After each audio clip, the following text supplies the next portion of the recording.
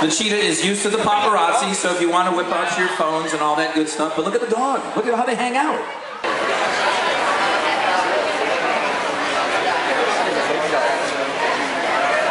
All right, Sarah. Sarah, I'm going to turn it over to you, and you can tell us all about what's going on here because we're all amazed. Okay, got it. Testing. Thank you so much. Welcome everybody to Feast with the Beast. We're happy to see you all out here. Like Rod said, my name is Sarah. I'm a supervisor in the carnivore department. And joining me tonight, we have Kevin, who is the other supervisor. He is working with our five-year-old cheetah named Keto.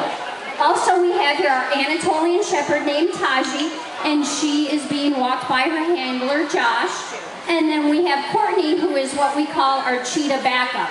Because Kevin needs to concentrate on the cheetah and what he's doing, we have Courtney as kind of his personal bodyguard. so thanks so much for coming out. Some of you may have seen our cheetah ambassadors before. You may have met Keto or Kabori. We actually have two brothers. And they were not born here at the zoo, but they came to us very, very small. They were born at a place called the White Oak Conservation Center, which is in Yulee, Florida. They specialize in breeding endangered species, and the cheetahs are not easy to breed in captivity, but they do a really good job with them. But for whatever reason, Keto's mom did not choose to take care of them. So we went down and picked up Keto and Kabori, and if you can imagine, the first time I met Keto, his eyes were still closed, and he fit in the palm of my hand. It's crazy to think that five years later, this is the same cheetah. Now he weighs a little over 100 pounds, and he lives exhibit with his brother Kabori. Now you may say, well, wait a minute, why do you guys have a dog at the zoo? And we're trying to get across a conservation message. In the early 90s in places like Namibia and Botswana, farmers and ranchers would kill cheetahs because they would go after their livestock. So in those early days, cheetah conservationists would provide Anatolian puppies to the farmers and ranchers. Now this particular dog, whoever you raise them up with, they're going to take care of. So they would get young puppies, they would raise them up with their, with their sheep and their cows, and they would become the perfect guard dog. Now along comes a cheetah out in the bush thinking that maybe he can get an easy meal out of a, a young goat or a sheep. And then here comes a 150 pound dog that has a really, really scary bark. What do you think the cheetahs are gonna do?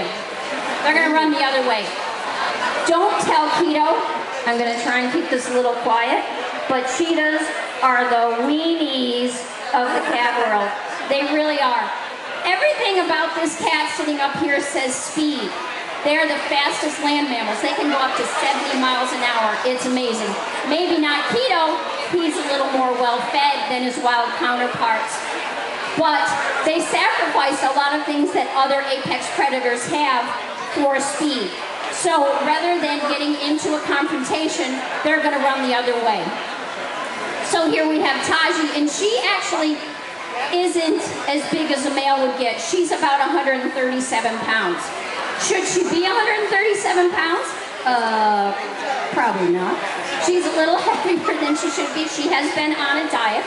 We do regulate that very closely, but she is a very, very big dog. Now, Taji has helped us out in several ways here at the zoo. Not only is she a companion to the cheetahs, but it's super awesome that we get to have a dog at work. How cool is that? And also, she's helped us raise other babies. We put Taji with the cheetahs when she was about nine, ten weeks old, and they grew up together to see our Anatolian and our cheetah. We have lots more animal love events going on this evening. Thank you so much.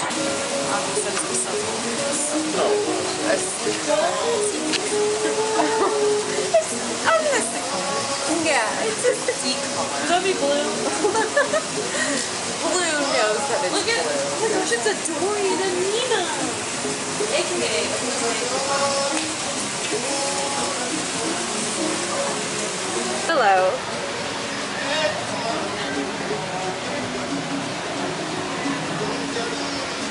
Log and rub. Stops. Oh, oh, he went into his little house.